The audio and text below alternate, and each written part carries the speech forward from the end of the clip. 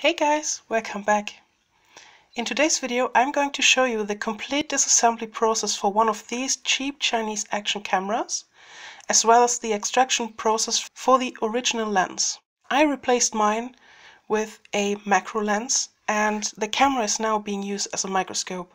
But you don't have to do that. A lens replacement can improve image quality or you could do other modifications, for example installing a microphone jack. But for me it is being used as a microscope and as you can see it works really well. Although there is a slight drawback and that is the lens needs to be manually focused and in my last video I went in some trouble.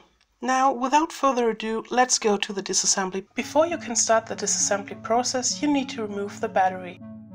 By sliding the lever to the other side, the battery cover will come right off. Use a small latch and pull on it to remove the battery. If you inserted an SD card into your camera, now is the time to remove it. I actually forgot that and had to remove it later. Now from the battery opening we can easily start to remove the front cover. Be careful not to use too much pressure and work your way in.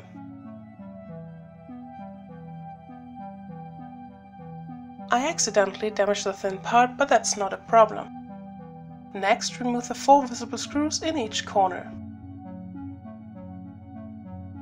Set the screws carefully aside and don't lose them.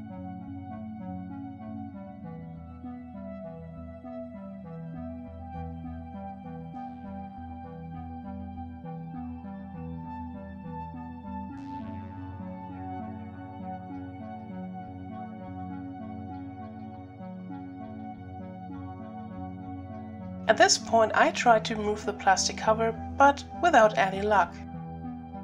Use a small screwdriver to remove the small PCB, it's only held in place with some plastic studs. Gently remove it and be careful not to rip the flat cable as it's very fragile.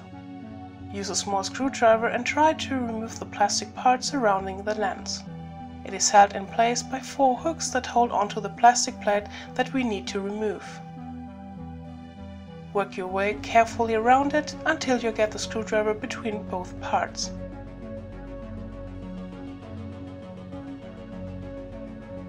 Apply some pressure and it should fall right off.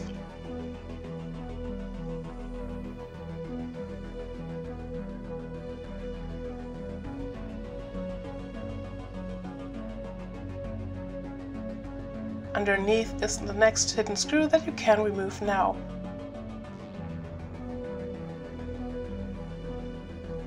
Any guesses for the last missing one? Exactly right. Beneath the small sticker is the last missing screw. The most obvious spot was not so obvious to me at first.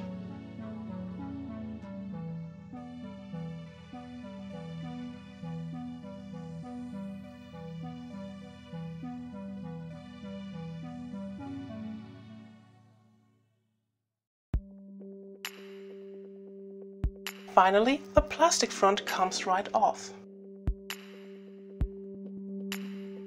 At this point it gets a little tricky. There are two types of cameras, the one I have where the screen is glued in place and the one that has a simple cover like the one from the front, just transparent. If you have the version I got, you need an X-Acto knife to cut through the glue. Gently insert the knife between the transparent screen protector and the enclosure. Don't cut in too deep, take your time.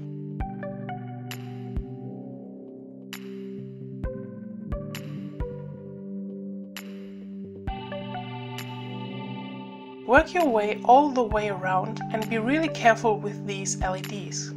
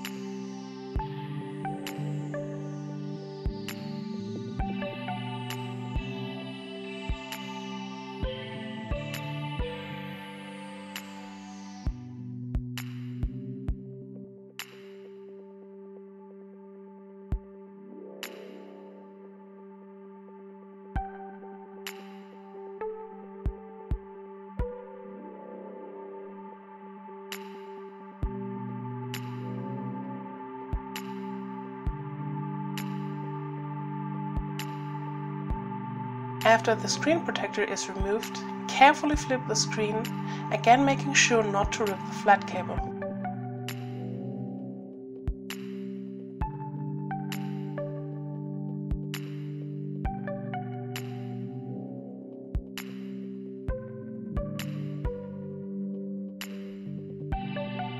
To remove the screen, use a small screwdriver and gently push the small black plastic part into the direction of the cable. Now the cable is released and you can set the screen carefully aside. This does not require a lot of strength, make sure that the part is all the way out and on each side. Now remove all the screws you have access to except for the ones holding the lens in place. In this case, they are located above and below the silver SD card holder.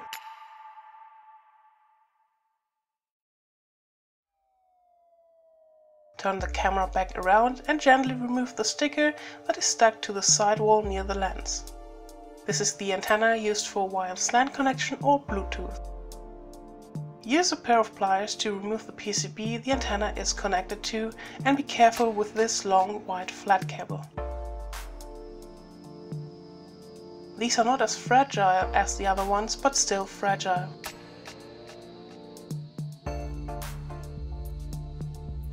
Carefully pressing from the backside, you can finally remove the main PCB and get access to the last screw to remove the battery holder.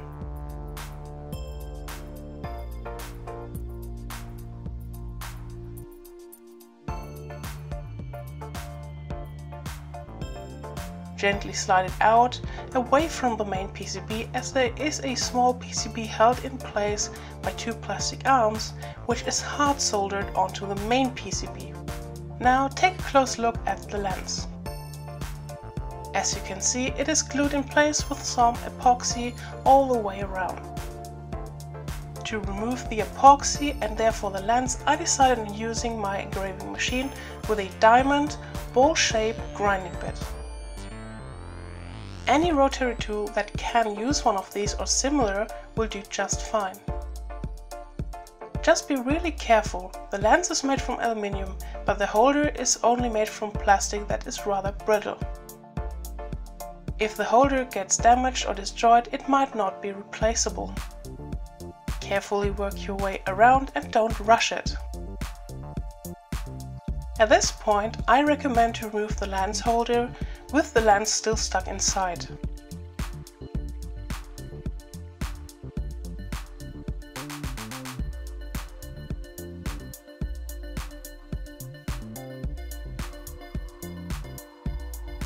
After it is unscrewed, be careful not to touch the camera sensor and don't get dust on it. Now you can unscrew the lens without the risk of damaging the camera.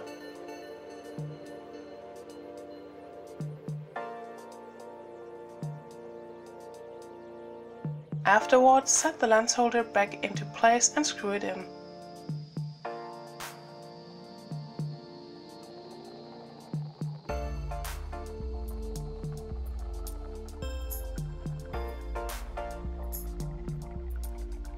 I highly recommend you reinstall the lens for now while reassembly to protect the sensor. Put the colored front plate back on without the black plastic part that would normally go around the lens. This creates more space for aftermarket lenses and now you can finally unscrew the old one and install the new lens. Last out of business is a quick test to see if it still works and sure enough the camera works, although the picture being out of focus and my lights creating some flickering. Well, thanks for watching guys. I hope you liked the video and if you did, please leave a like, comment down below other than that, thanks for watching and see you next time. Bye!